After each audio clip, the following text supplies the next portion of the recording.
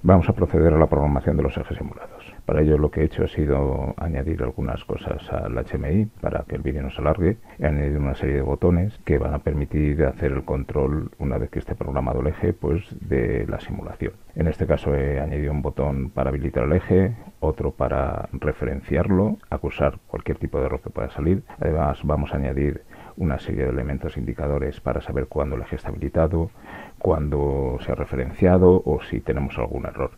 Y luego además vamos a hacer un control manual con el jog, tanto para el eje vertical como para el eje horizontal. Y luego un botón de puesta en marcha que va a permitir realizar una secuencia donde los ejes van a simular que van a trabajar con estas piezas que he colocado aquí en la parte inferior en el DBHMI que creé en el vídeo anterior, pues he añadido tres variables booleanas para asociarlas a los botones del HMI para acusar errores, eh, hacer el home o realizar la activación de la secuencia.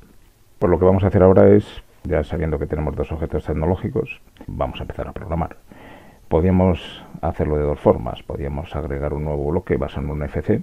Por lo tanto, cada vez que insertara un bloque de motion control se generaría un DB instancia relacionado con, ese bloque o crear un bloque FB de forma que utilicemos instancias de cada uno de los bloques dentro del DB global que va a tener este FB. A este FB le voy a llamar FB de Motion Control General porque aquí voy a insertar las instrucciones los bloques que me van a permitir hacer las eh, funcionalidades generales o globales de los ejes, como habilitarlo, eh, ponerlo en referenciado o eh, acusar errores. Voy a las instrucciones de programación y aquí donde pone tecnología, en la categoría tecnología, tengo eh, las instrucciones de motion control. Voy a coger un power y le voy a decir que va a ser un objeto multistancia. Entonces este mc power pues le voy a denominar eje horizontal para identificarlo del otro que va a ser vertical. Vemos que ha creado la instancia y aquí dentro de las variables locales también aparece.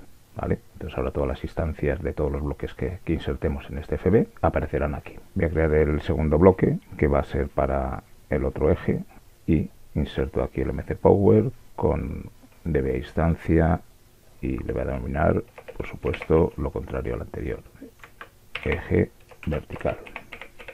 Ya tengo los dos bloques creados para habilitar los ejes. Bien, Ahora aquí puedo trabajar de dos formas, o bien directamente asociar las variables que tengo de los eh, relacionadas con el HMI o con los objetos tecnológicos con los bloques, cosa que no es lo más conveniente, aunque se podría hacer para salir del paso, o crear eh, entradas y salidas para trabajar desde el exterior del bloque que, que acabo de llamar como MC general. Lo que voy a hacer aquí es crear una serie de entradas que me van a permitir controlar este bloque desde el exterior. Entonces vamos a crear variables locales. En principio voy a crear una variable para asociar los eh, objetos tecnológicos aquí a la entrada eje. A esto le voy a denominar eje X simplemente y le tengo que decir el tipo de dato que es. Bueno, para saber el tipo de datos es como se denomina al objeto tecnológico, ¿vale? Es cuando creamos un objeto tecnológico, vemos aquí cómo denomina a esta funcionalidad. Por lo tanto, ese es el nombre que tengo que poner para el tipo de datos.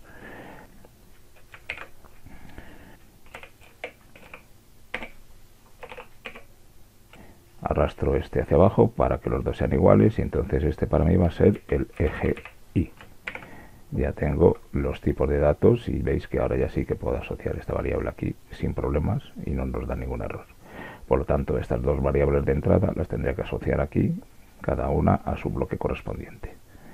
¿Qué más entradas podemos crear aquí en este bloque? Bueno, pues habrá que crear una entrada de habilitar. Y esta es una entrada tipo booleana. Más, podríamos crear una entrada de acusar errores. Y una entrada para hacer el referenciado. Vale, home. En principio no necesito ninguna entrada más, pero bueno, si las necesito las creo en cualquier momento. Vamos al siguiente segmento y ahora vamos a crear los bloques de reset, que son para acusar errores. Igual creo estancias y aquí le denomino eje vertical o eje horizontal.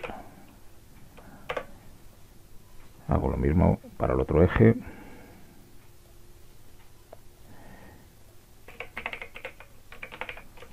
Y vamos a por los últimos bloques que voy a generar aquí en este FB, que son el de referencial, el MC Home. Vale, pues aquí igual, multistancia y le denominamos eje vertical. Y para el otro bloque también hacemos lo mismo, pero en este caso se denomina MC Home eje horizontal. Vale, ya están todos los bloques que vamos a insertar en este FB. Ahora vamos a asociar cada una de las variables que, que van a ser necesarias para trabajar con ellos. Bueno, este va a estar asociado al eje X, este va a estar asociado al eje Y y así exactamente igual para los de referenciado. Además, los dos de MC Power, pues le vamos a asociar la entrada booleana de habilitar aquí en su entrada enable, de forma que desde el exterior, en este caso desde el HMI, podamos habilitar ambos a la vez. En el caso del reset, pues vamos a poner también en la entrada execute la variable para acusar fallos y en el de referenciado, por supuesto, ponemos la variable que hemos denominado como home en el execute. Vale, pues en principio ya está el bloque de MC general eh, completo. Por lo tanto, lo que voy a hacer ahora es que me voy a ir al main y lo voy a llamar. Ya tengo aquí llamado al bloque, al FC de simulación, donde lo que hacía era convertir las señales del objeto tecnológico que estaban en formato LReal en variables tipo entero para que el HMI las pudiese leer. Pues en el main lo que vamos a hacer es llamar al bloque FB, al MC general, y aquí ya sí que nos genera un bloque asociado a este FB. Ahí está. Tenemos que asociar a estas entradas los dos objetos tecnológicos. Simplemente los arrastro desde el árbol de proyecto. Y estas entradas, que en principio no son obligatorias, eh, ahora las asociaremos a los botones del HMI. ¿vale? Pues ya tengo el bloque MC general que permite gestionar cosas globales de la, del sistema de motion control virtual que estamos creando. Bien, pues ahora qué vamos a hacer? Bueno, pues ahora vamos a crear otro FC. En este caso va a ser un FC que va a tener los bloques que van a generar movimiento. Voy a hacer los movimientos basados en eh, bloques de movimientos absolutos, aunque también podría eh, jugar con los de movimiento relativo. Y en este caso eh, incluso sería muy interesante hacerlo. Pero aquí voy a hacer el programa con movimientos absolutos. Entonces voy a agregar un nuevo bloque, FB, Motion Control Movimientos. Acepto. Vale. Y aquí en este bloque pues vamos a crear dos instrucciones. los movimientos absolutos para el eje X, por lo tanto le voy a denominar aquí eje horizontal siguiendo las denominaciones que le estoy dando a este tipo de eje y para el segundo eje exactamente igual lo colocamos aquí, creamos la instancia y para este esta instancia la vamos a denominar eje vertical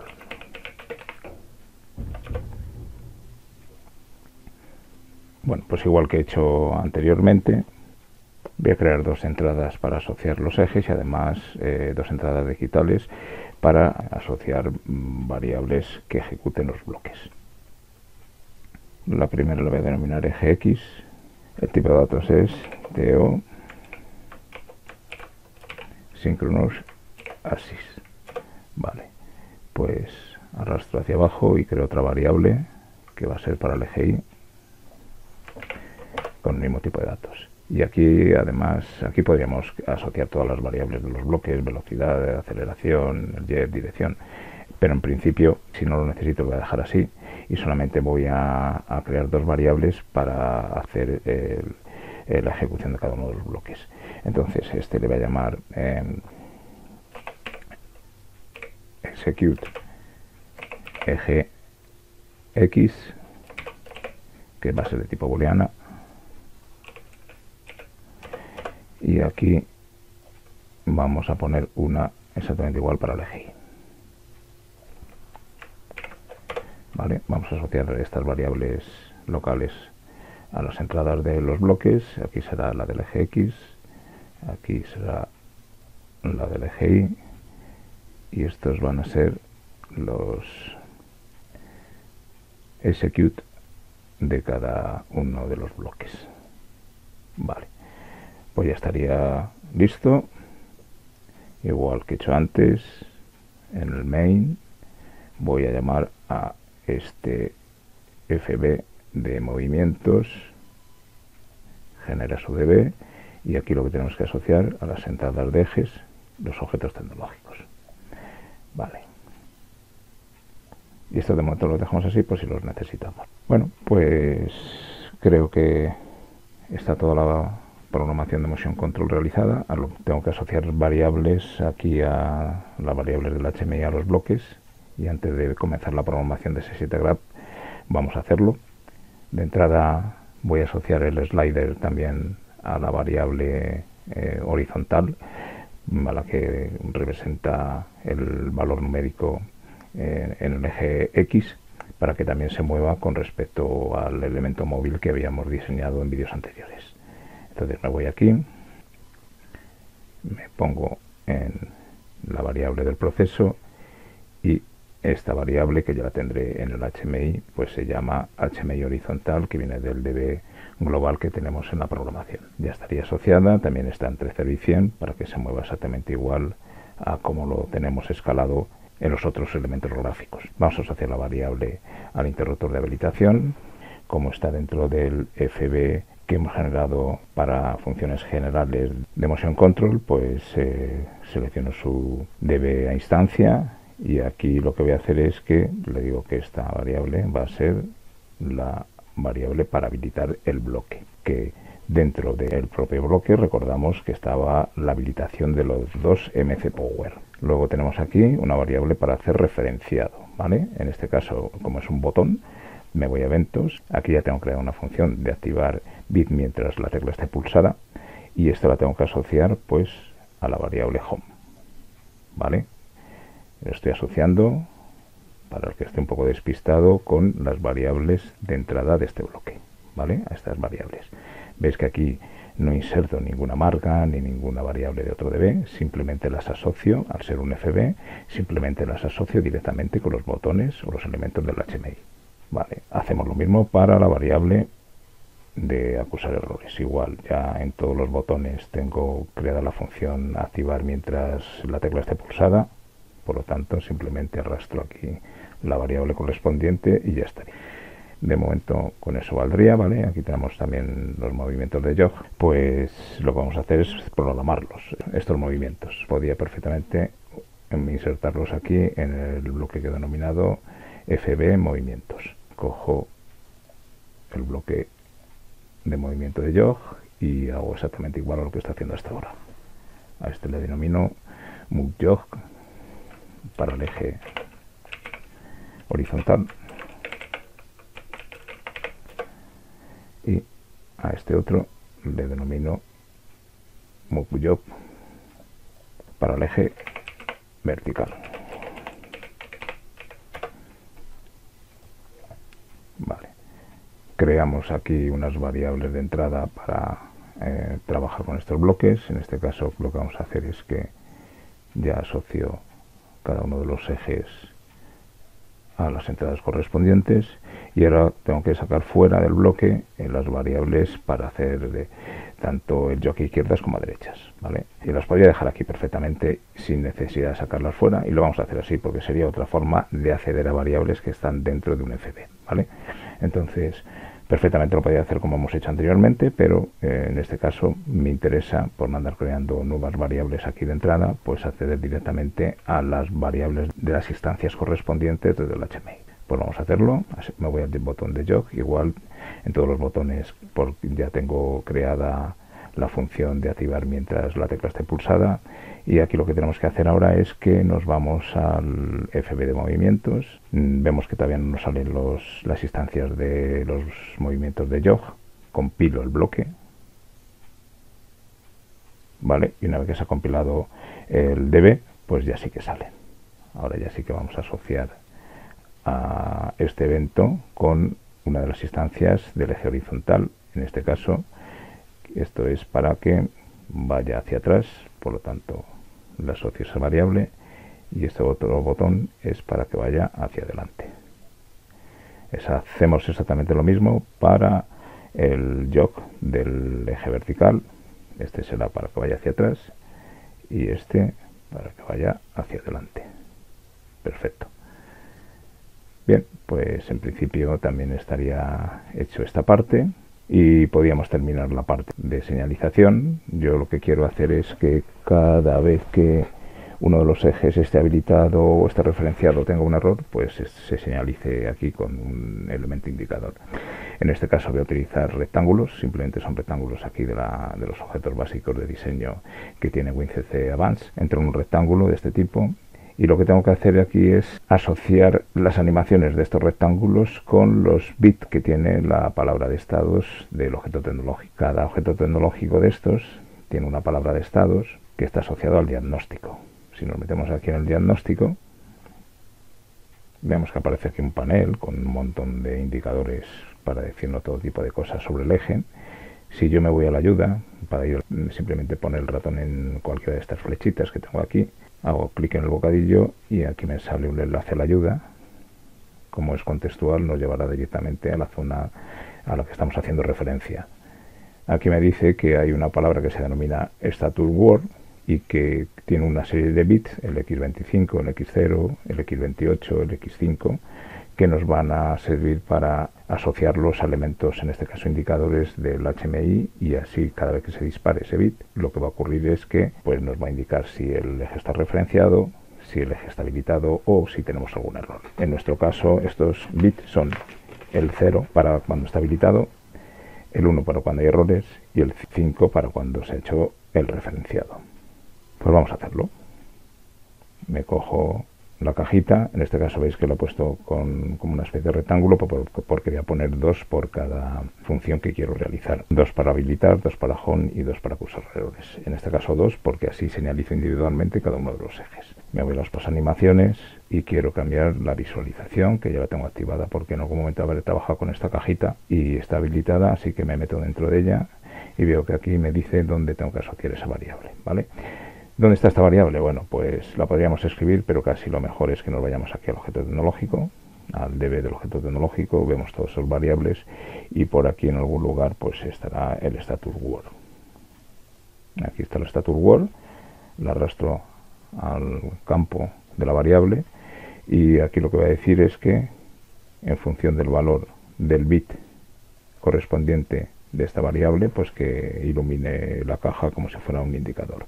Si está valor 0, que se quede de esa manera, y si está valor 1, en este caso, como es el de habilitar, pues que ponga el fondo de color verde. Le tengo que decir qué bit quiero para ello, entonces en este caso es donde interviene lo que acabamos de ver en la ayuda. Como este es el de habilitar, pues es el bit 0, ¿vale? Por lo tanto lo dejo así. Hago lo mismo para el otro eje. Este es el objeto tecnológico del eje horizontal, por lo tanto tengo que hacer lo mismo para el eje vertical. Busco el status word, aquí está, lo arrastro, este es del eje vertical y ya me sirve toda la configuración porque tiene que hacer exactamente lo mismo.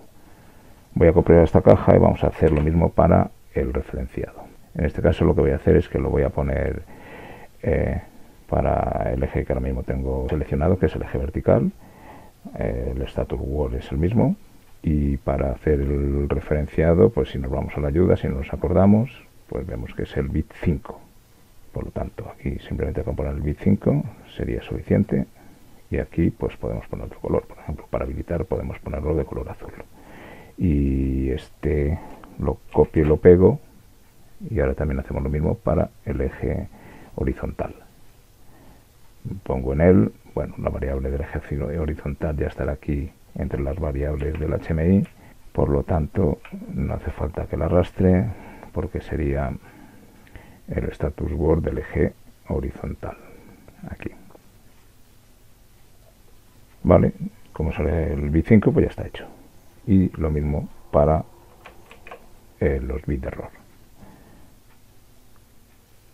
El error, si nos vamos a la ayuda, pues vemos que es el 1. Lo único que vamos a hacer es que cambie de color rojo, ¿vale? Esta turbo es la misma, por lo tanto aquí este le ponemos que es el 1. Y ahora para el eje vertical exactamente igual, le ponemos de color rojo y aquí ponemos que es el bit 1. Vale, pues ya estarían las señalizaciones también realizadas. Bueno, pues ahora lo que vamos a hacer es probar el HMI, vamos a ver si funciona. De momento podemos probar prácticamente todo, menos el botón de marcha, que todavía no tenemos ninguna secuencia. Lo primero que tengo que hacer es coger el PLC, me pongo encima del dispositivo en el árbol de proyecto y arranco el PLC SIM. Al arrancar el PLC SIM, pues ya me va a cargar el programa y toda la configuración que tenga hecha en este dispositivo. Vale, lo cargamos y lo ponemos en Run para dejarlo de esa manera y ejecutamos el runtime del WinCC. Voy a hacer una cosa antes y es que dentro de los movimientos el jog posiblemente tenga un movimiento muy rápido y lo que voy a hacer es que aquí la velocidad pues la voy a reducir a 20 tanto en el jog horizontal como en el jog vertical son valores fijos, lo podría poner a través de un campo del HMI pero en este caso no quiero hacerlo, simplemente quiero dejar estos valores de forma fija, ¿vale? Y ahora ya vuelvo a enviar el programa al simulador, cargo, finalizo, vale. Y vamos a ejecutar el runtime con la imagen del HMI. Me pongo en ella y aquí lo ejecutamos en modo simulación y vamos a ver qué ocurre. Primero toco los botones de jog, veo que no ocurre nada porque el eje no está habilitado. Tenemos que habilitar el eje. Vemos que los dos ejes se habilitan, tanto el X como el Y. ¿vale? del horizontal y el vertical, por eso se iluminan las dos cajitas. Por lo tanto, ahora una vez habilitado, sí que es posible mover el, tanto el eje horizontal como el eje vertical. ¿vale? Y vemos que se desplaza correctamente. El referenciado también lo hará, aunque ahora no es necesario para hacer los movimientos manuales y vemos que sí, que se ponen de color azul los dos LED que están asociados al referenciado, por lo tanto es correcto. En este caso, como es un eje simulado, cada vez que hacemos un referenciado lo que ocurre es que los ejes se posicionan tal como están en la pantalla. El eje horizontal se va al lado izquierdo y el eje vertical está completamente recogido, es decir, en la parte superior. Pues vamos a crear una secuencia, en este caso vamos a utilizar un Graph eh, programado en S7 Graph. Antes de, hacer el programa, que ya lo tengo hecho y simplemente lo voy a mostrar cómo es, por no alargar demasiado el vídeo, hay que tener en cuenta lo siguiente. Cuando trabajamos con los bloques de eh, Motion Control, vamos a ver todos, pues tienen una configuración muy similar, tienen una serie de entradas, una serie de salidas. En todos ellos hay que asociar el, el objeto tecnológico, que es la entrada ejes, y luego tenemos una serie de entradas en este caso digitales o de tipo de datos, analógicas, donde tenemos, podemos interactuar con el bloque. Hay dos tipos de entradas digitales que son muy similares, que son las que permiten ejecutar o habilitar el bloque y son de las que vamos a hablar. Aquí vemos que, por ejemplo, el MC Power tiene una entrada que se llama Enable. Las entradas Enable son, funcionan por nivel, es decir, hay que mantener la señal activa para que el bloque esté operativo. Todas aquellas que tienen una entrada Execute eh, no funcionan por nivel, funcionan por flanco. Por lo tanto, lo que hay que dar es un pulso para que el bloque se ejecute. ¿vale? Luego tenemos eh, una serie de datos que podemos modificar. Por ejemplo, en este caso tenemos el MC y tenemos un dato que es posición. Cuando está en gris, pues es el dato que le llegue por defecto configurado el objeto tecnológico o a través de un sistema HMI o a través del programa. Si nosotros ponemos aquí un dato de fijo, vemos que se queda de color azul y ese ya no se podrá modificar de ninguna forma, ya que va a atender a este dato que hemos escrito directamente en el parámetro. Luego, por otro lado, tenemos eh, salidas, ¿vale? En este caso nos vamos a ir a los FC de movimiento, que son los con los que vamos a trabajar, y vemos que eh, los FCs de movimiento pues tienen una salida que se llama DAN, que es eh, cuando el bloque se ha ejecutado por completo. Esta salida de tipo de flanco. Aquí lo que hace es que cuando este bloque se ha ejecutado por completo, es decir, cuando hemos alcanzado una posición determinada, ¿vale? La que tenemos aquí en la entrada position, pues se ejecuta un flanco y nosotros lo podemos utilizar a modo de final de carrera para continuar la secuencia. Es lo que vamos a hacer para flanquear las transiciones de nuestro enlace. Además, estos bloques, los de movimiento, en este caso son de tipo absoluto, pero los de tipo relativo son exactamente igual, tienen una serie de parámetros que son muy interesantes y con los que se podría trabajar. Yo solamente voy a trabajar aquí dos de ellos, el de la posición, que es el que nos va a permitir mover cada uno de los ejes a una posición determinada, en este caso será absoluta, todos estarán, todos estos movimientos o estas posiciones se van a hacer con respecto al home y luego tenemos unos datos de velocidad, de aceleración, de aceleración, etcétera. Yo aquí le he puesto una velocidad de 10. En principio es suficiente para ver la simulación, pero si tuviésemos que trabajar con ejes reales o queremos trabajar con otras velocidades, esto lo podríamos dejar de color eh, gris y podríamos interactuar con esta velocidad desde el propio programa. En este caso va a ser una velocidad fija y aquí lo único que me interesa es modificar la posición. Esta posición y de igual forma que hemos hecho con el MC general, la hemos parametrizado dentro de las variables locales y así se puede acceder desde el exterior. Por lo tanto, desde aquí tenemos que trabajar con dos tipos de entradas para hacer el control del bloque y una salida para saber cuándo se ha ejecutado por completo dicho bloque. Vamos a utilizar la entrada execute para lanzar la ejecución del bloque, la entrada posición, que es la entrada a la que se va a posicionar el eje respecto al home, porque son movimientos absolutos, y eh, la salida DAN, que nos va a servir como una especie final de carrera virtual para saber cuándo tenemos que pasar al siguiente paso de la secuencia. La programación la basada en este graph es un graph bastante sencillo de cuatro etapas que va a permitir reutilizar todos los movimientos que realiza de desplazamiento de 10 en 10 el eje X y de subida y bajada del eje vertical. Vemos que la etapa inicial lo que hace es que los dos ejes se posicionan a cero, inmediatamente se ejecutan y por lo tanto el carro siempre se llevará con el eje vertical elevado y el carro horizontal situado en el lado izquierdo de la regla. Una vez accionado el pulsador de marcha, lo que hacemos es que asignamos un valor de 100 al eje vertical, por lo tanto se extiende por completo, se ejecuta y una vez que el bloque de movimiento absoluto es ejecutado, lo que hace es que la salida DAN que tiene dicho bloque me permite pasar de una etapa a otra. En la etapa 3 lo que voy a hacer es que, es que el eje vertical se va a recoger por completo, por eso está igualado a cero. Y una vez que se ha cumplido, siempre que el carro esté en una posición que sea menor del valor que tenemos aquí en la regla, que es 100, lo que hará es que desplazará el carro en horizontal de 10 en 10. Por eso aquí tenemos esta operación de incremento de 10 en 10. Una vez que se ha cumplido el desplazamiento de 10 en 10, lo que va a hacer es que vamos a volver a la etapa número 2 y vamos a repetir todo este bucle para que el eje vertical baje y suba y el carro avance hacia la derecha. Cuando estando la etapa 3 nos encontramos que el bloque de movimiento absoluto para el eje Y se ha hecho correctamente y el carro ya está en el extremo del lado derecho, es decir, que es mayor o igual a 100, lo que va a ocurrir es que la secuencia retornará a la etapa principal y los dos ejes se pondrán a cero, por lo tanto el eje vertical se elevará y el carro se situará en el lado izquierdo. Y la secuencia comenzará de nuevo accionando el pulsador de marcha. He creado un FB para un graph Vemos que está implementado el grace que acabamos de ver, que es el grace de cuatro etapas. Voy a maximizar todas las acciones y todas las transiciones y vemos lo que tenemos, ¿vale?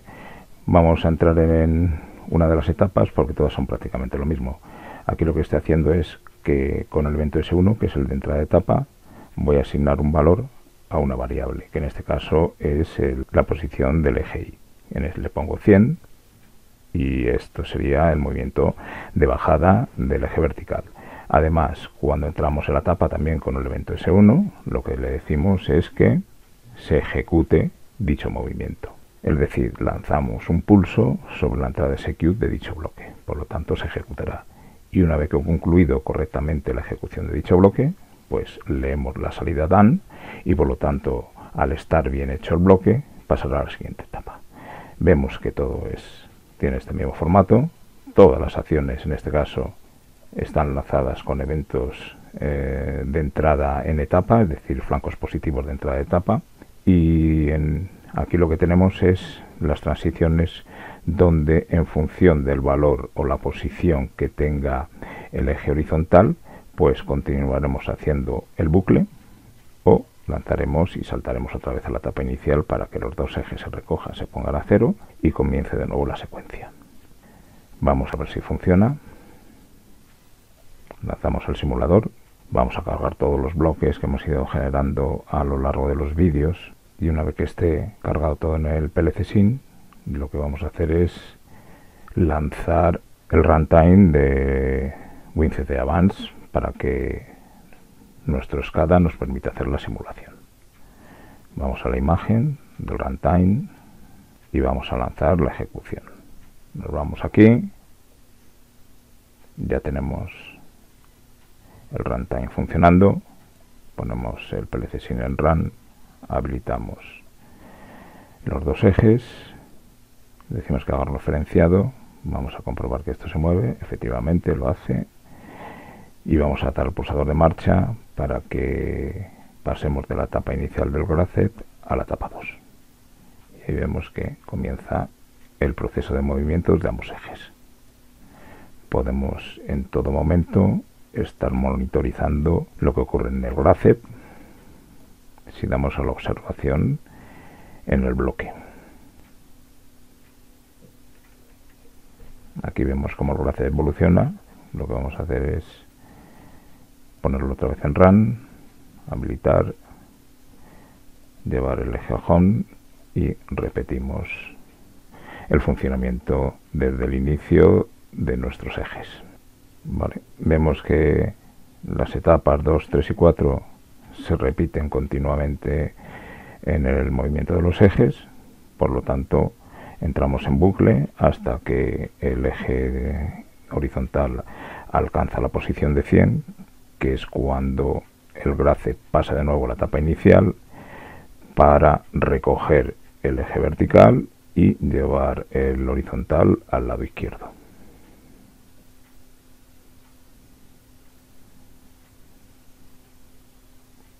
¿Vale? Y aquí, como le he puesto un contacto en paralelo de la salida DAN del último bloque que se ejecuta, que es el X, pues lo que está haciendo es que de forma continua se está ejecutando todo el proceso sin necesidad de accionar el pulsador de marcha.